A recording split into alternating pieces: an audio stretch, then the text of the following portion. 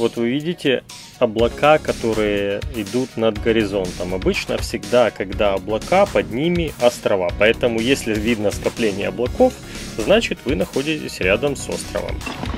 Ну что, народ, мы сейчас идем на Таити. Э, идем под парусом. Вот этот остров, который спереди находится, это и есть Таити. И прямо вот за парусом Город Папеэте – это столица французской Полинезии. Особенностью французской Полинезии является то, что здесь большое количество яхт и большой трафик. То есть вы постоянно встречаете какие-то лодки, с которыми нужно расходиться. Единственное, конечно, плюс, что встречаются они в основном днем. И так как здесь небольшие расстояния, люди пытаются ночами отдыхать и не ходить непонятно куда и непонятно зачем. И днем приходится быть крайне внимательными, потому что реально приходится периодически делать большое количество усилий.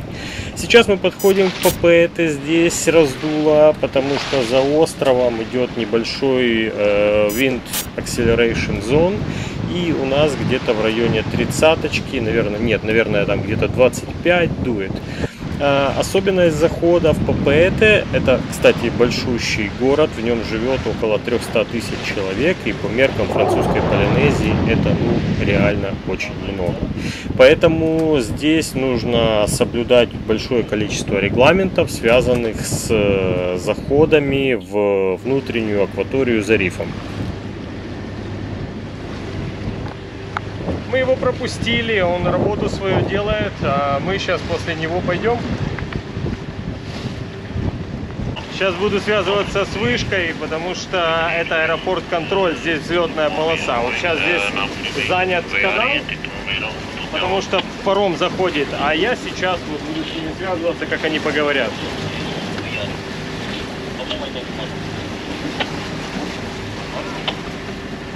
Boat control, boat control. Sailing vessel Mushu, call in, do you read me? Over. Zero Mushu, copy depot. Good afternoon, sir. Go ahead. Good afternoon. I'm just in the front of red and green buoy. I want to go inside to Marina Taina May Go. Over. Okay, sir. Well, copy. You can proceed behind uh, the boat in front of you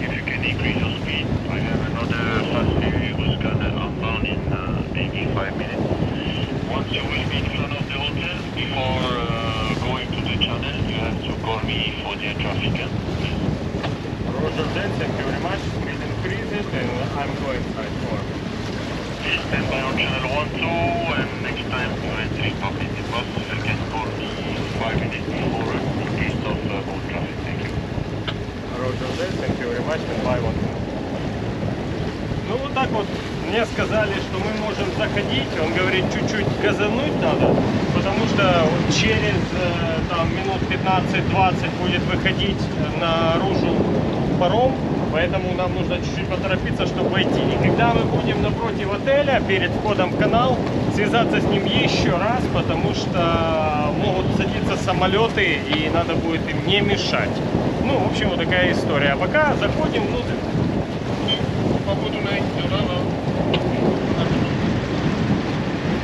Может, газануть сильнее А я надо? уже газанул нормально. Мы идем четырем.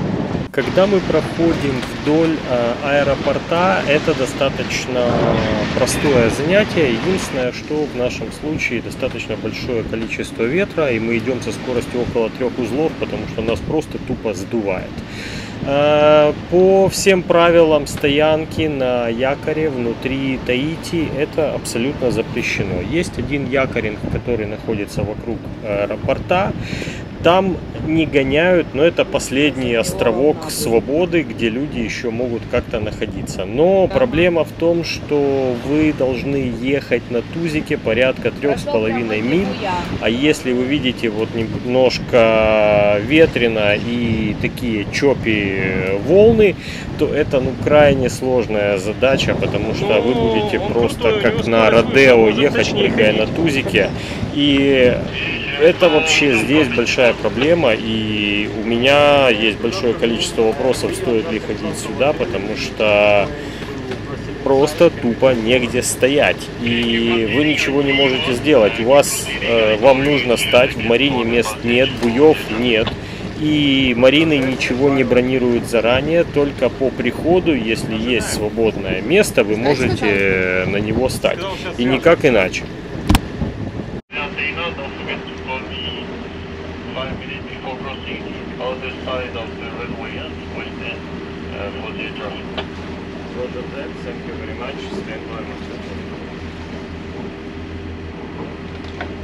Короче, сказали, что можно идти.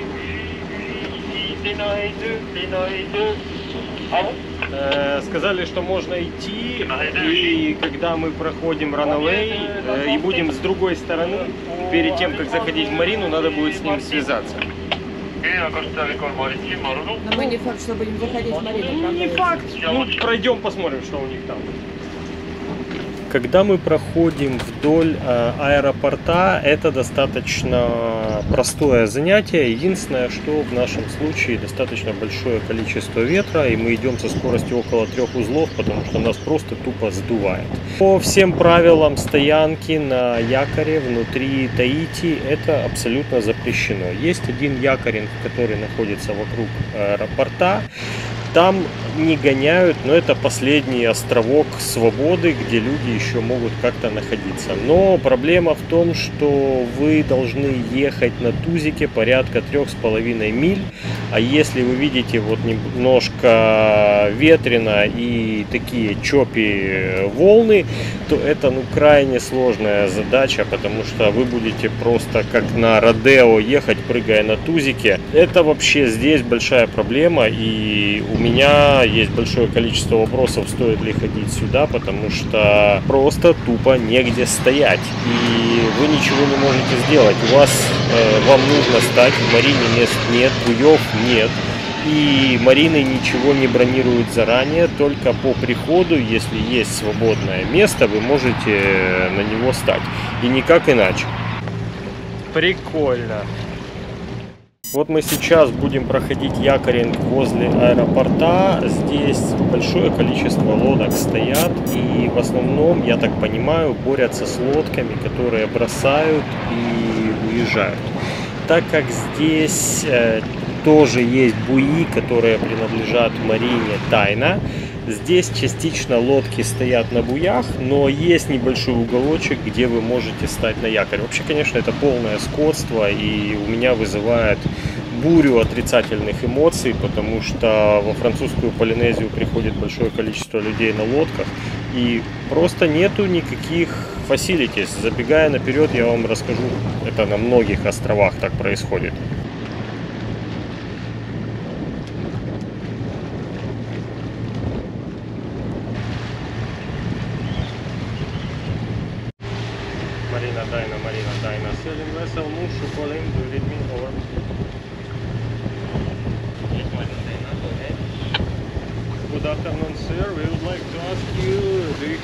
A berth for uh, three days for 45 feet monohull? Over.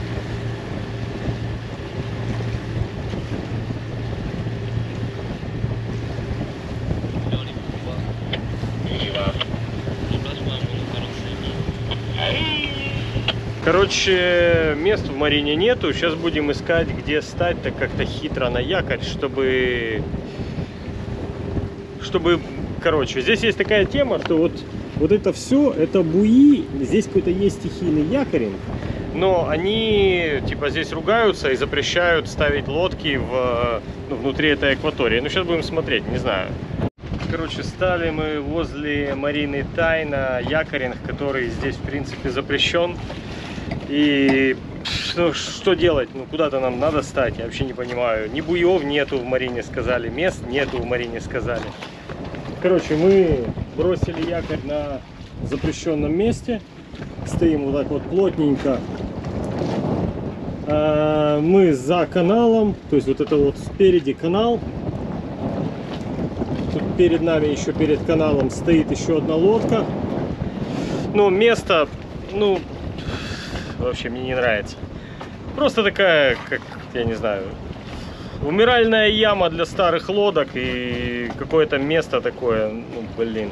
Мы здесь постоим пару дней, но я надеюсь, мы отсюда уйдем, потому что мне реально здесь не нравится. Теперь давайте я вам расскажу немножечко про марину. В марине есть возможность стоять на тузиках, и это никак не регламентируется. Я думаю, что это связано с тем, что рядом большое количество буев на стоянке, буевая стоянка, и с нее люди добираются в марину, а буи принадлежат марине ППЭТ.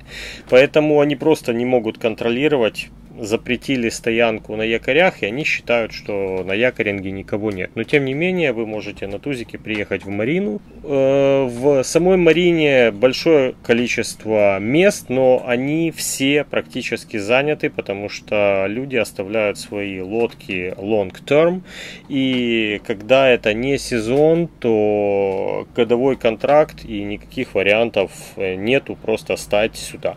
Есть э, dock, можно лодку лодку вынуть и оставить ее на берегу.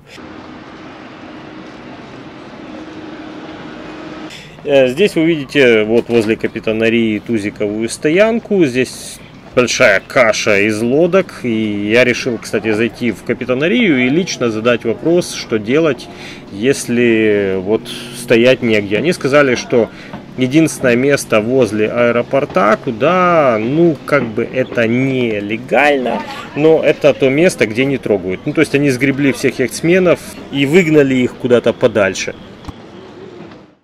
тут в местной лондри, а у них такая тема э, во французских отремер, что очень часто, где лондри, там бесплатный книга, э, книгообмен. То есть ты туда что-то приносишь, что у тебя есть, берешь что-то, что тебе интересно. И в основном, конечно же, книги на французском, но есть несколько, как правило, всегда что-то есть на английском. И я там достала вот такую книгу.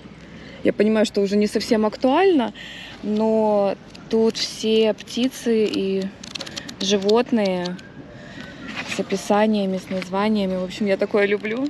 Буду листать и изучать.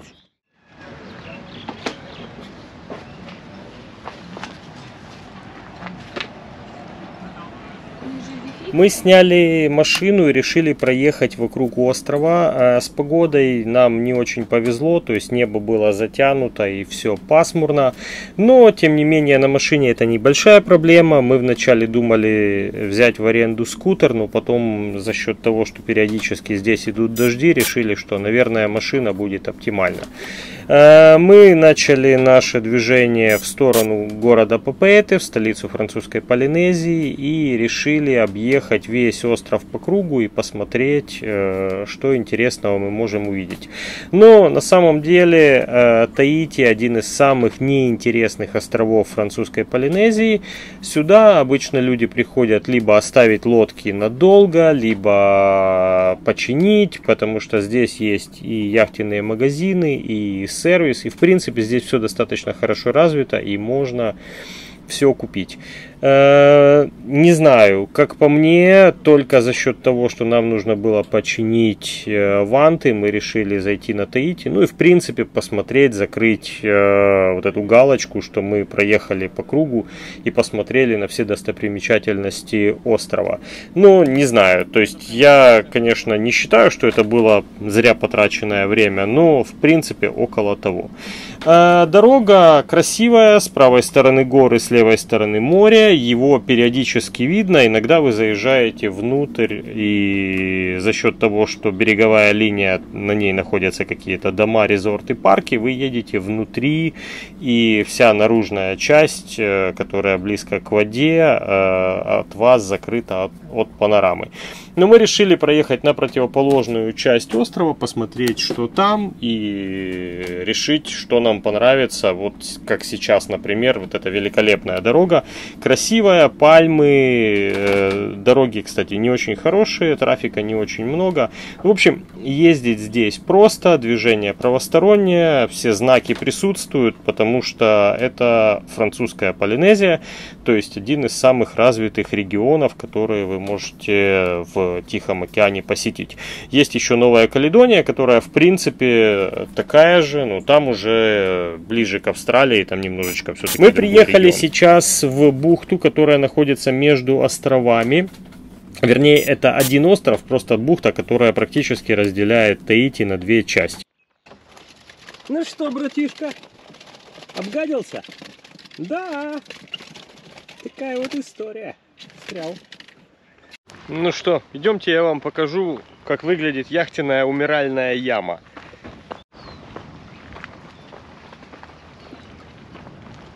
Да, тут лодок, конечно, много.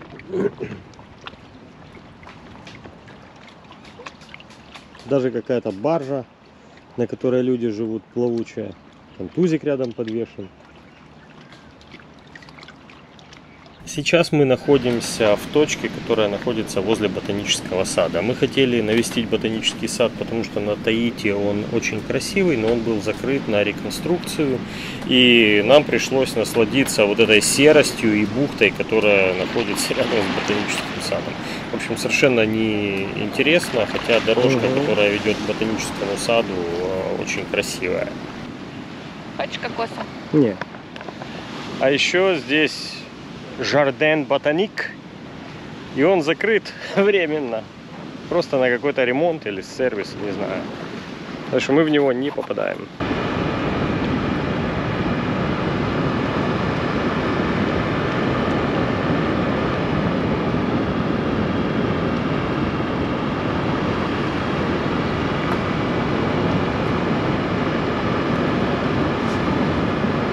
Мы уже сделали две трети круга и решили заехать в одно великолепное место, называется Water Garden Вайпахи. Это э, большой парк, такой а ботанический. Э, его открыли недавно, несколько лет назад. Его площадь 1,2 гектара три дорожки, которые где-то по полчаса, ну и есть несколько трейлов, которые высоко идут в горы. Ну, мы по объективным причинам просто грязно и скользко решили туда не идти, но сам парк великолепный. Так как по названию понятно, что Water Garden означает, что что-то построенное на воде, здесь очень большое количество растений, которые э, живут у воды. На самом деле сам парк э, был сделан и рассказывает легенду про то, как душа после смерти по верованию местных племен очищается через водопад и проходит в другой мир. Поэтому, как бы идя по дорожке, вы проходите тот путь, который проходит душа и попадает в мир иной. То есть э, речка, которая течет вот здесь, и вы видели водопад, она играла очень большую религиозную роль среди племен на протяжении многих-многих тысяч лет. И, собственно, основываясь на этой легенде, был построен данный великолепный парк. Э, естественно, парк современный. Здесь очень хороший садовник, который очень внимательно следит за всем этим великолепием в парке. То есть большие деревья, которые растут из воды, кувшинки, в озерах плавают крабы, какие-то птицы, которые охотятся за э, рыбой мелкой в водоемах. В общем, здесь э, очень прикольный парк. И если вы планируете э, посетить Таити, то, наверное, это одно из мест, которое ну, просто must-have к посещению. А если вам повезет еще с хорошей погодой, то можно пойти на трейл и посмотреть на то, что вокруг немножечко с высоты. Нам здесь понравилось. Единственное, конечно, погода, которая нас застала, было не очень хорошо, потому что постоянно шел дождь, а в дождь гулять, сами понимаете.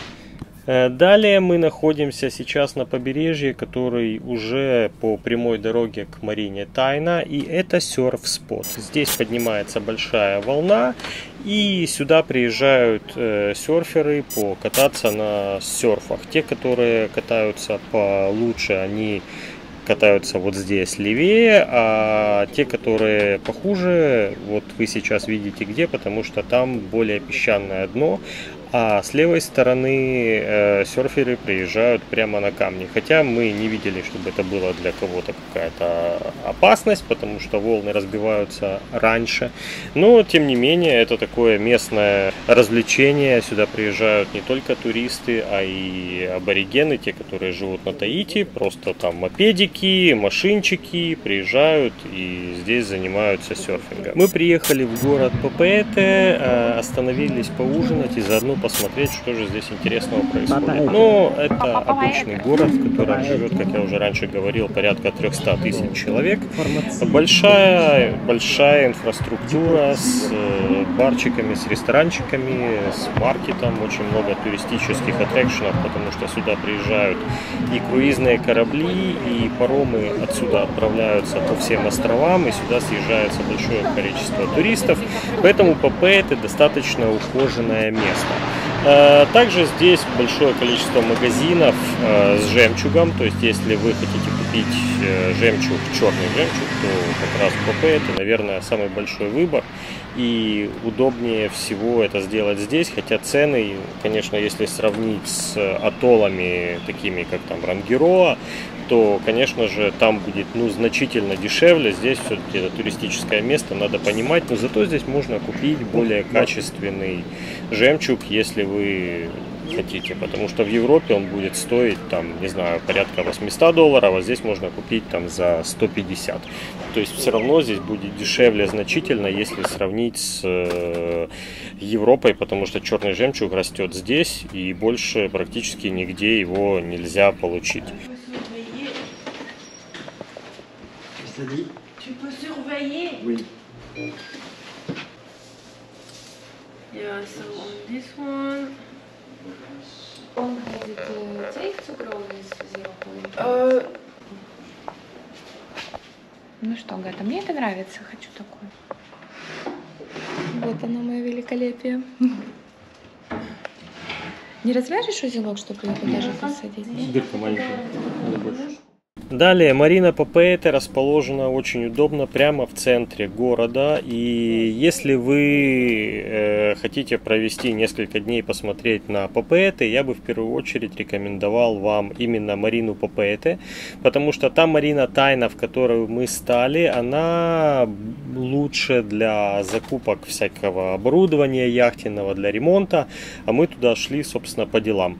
Но если бы вот смотреть просто на город, то, конечно же, Марина ПП это лучше. Но здесь также нету резервации. Вот вы видите сейчас свободные места, но очень часто здесь свободных мест нет. И вы можете приехать, вам скажут до свидания, вы поедете в Марину Тайну, вам там, естественно, скажут тоже до свидания, и все, и у вас э, особых возможностей стоять э, нигде нету, то есть надо будет что-то придумывать и искать э, места в Марине, возле Марины Тайны. То есть я бы начинал именно так, ППЭТ, потом Тайна, но так, чтобы зайти в ППЭТ в первой половине дня, чтобы у вас было время на план Б. Рядом с Мариной э, большой парк, парк великолепнейший. Я когда был еще здесь в прошлый раз, я здесь проводил много времени, потому что я стоял именно в Марине Папете. И очень удобный доступ, собственно, к городской инфраструктуре, да и просто выйти погулять. Э, Марина Папете подходит для этих целей значительно лучше.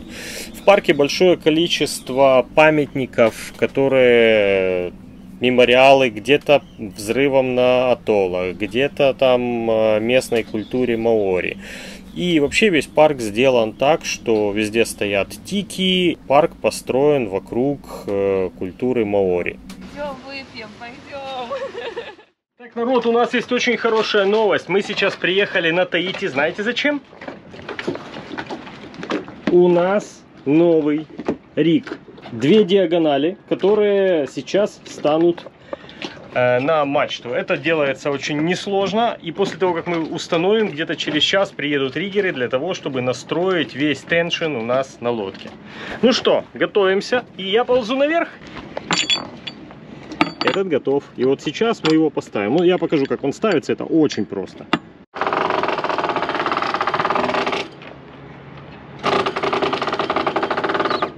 Стоп! Да.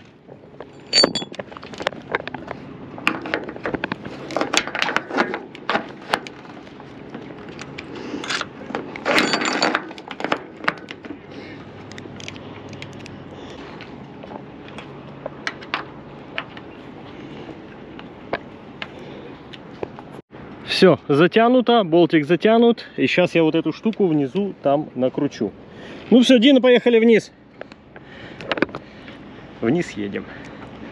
Итак, у меня есть вот такой вот лубрикант.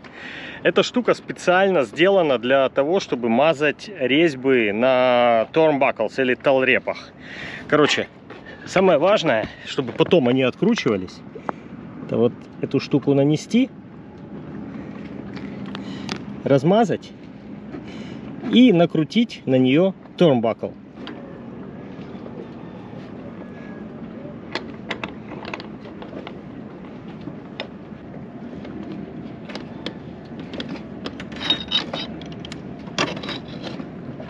К нам приехали риггеры, я вас сейчас познакомлю. Оказывается, мы уже знакомы еще с Сан-Мартена. Guys, I would like to introduce you the guys who Hello. help us in the rigging. Boris and uh, Jean-Christophe. Jean-Christophe, the guy from uh, San Martin, I knew him. Yes. so today they will assist me in the rigging and uh, you know the story with our rigging. So now we will be fine with, uh, finally, with our mast. Let's Thank go. you. Let's and have a look.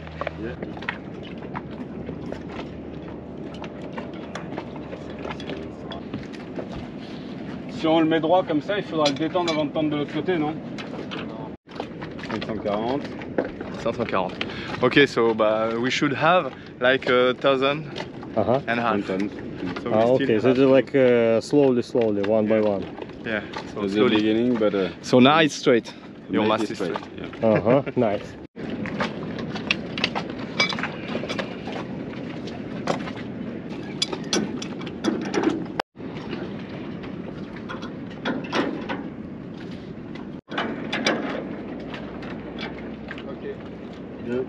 Проблема была в том, что на левую и правую сторону мачта была не настроена, разбалансирована и на одну сторону была перетянута больше, чем на другую.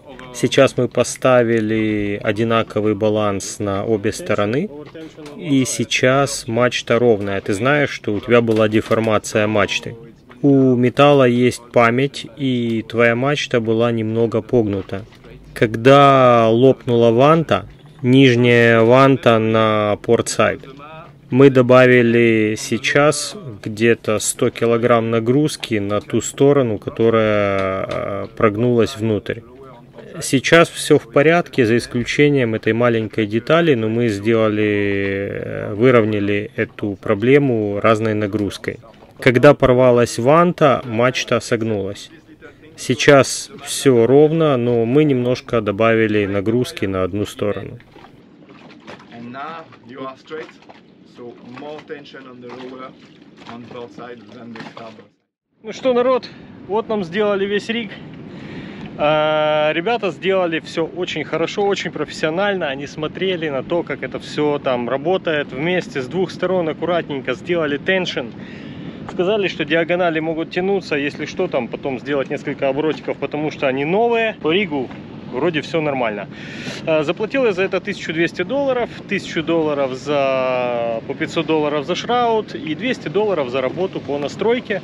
Они возились там больше двух часов. А, Поэтому мы с точки зрения рига теперь, я надеюсь, больше нервничать не будем. Фух, этот этап мы выкашляли.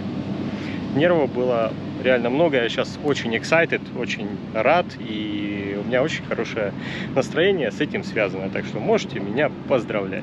Перед выходом мы решили заехать на заправку, залить топливо, залить воды. Кстати, забегая наперед, скажу, что воды на заправке не оказалось, но в Марине нам сказали, куда подойти и просто заправиться с пирса. Э, Топливо стоит э, где-то доллар 60 за литр, причем что бензин, дизель для лодки. После того, как мы залили, мы решили идти на Мурею, потому что Мурея это то место, где мы хотим постоять, провести время, потому что красиво. А Таити это инфраструктура, которая связана с яхтингом, и для нас это то место, которое мы посетили, сделали свои дела. Ну и, в общем, всякая промуха вокруг. В общем, Непонятно. Таити себя исчерпала. Короче, друзья, мы идем на Мурею и будем там отдыхать. Во внутренний риф есть два захода. Один, который возле аэропорта, возле ППЭТ. То есть вы видели, как я вам показывал, как мы туда заходили. И второй выход, это чуть-чуть южнее Марины Тайны. Мы вот сейчас выходим как раз. Э, Здесь большие широкие проходы, поэтому время тайдов смотреть совершенно не обязательно. Но просто если будет заливать там два узла, нужно будет быть готовым, дать немножечко газку. И все остросюжетное. И лодки он у них рыбалка. И вообще, чтобы он... А вы, друзья, не забываем подписываться на канал, ставим лайк, проверяем колокольчик и до встречи в следующем выпуске. Пока.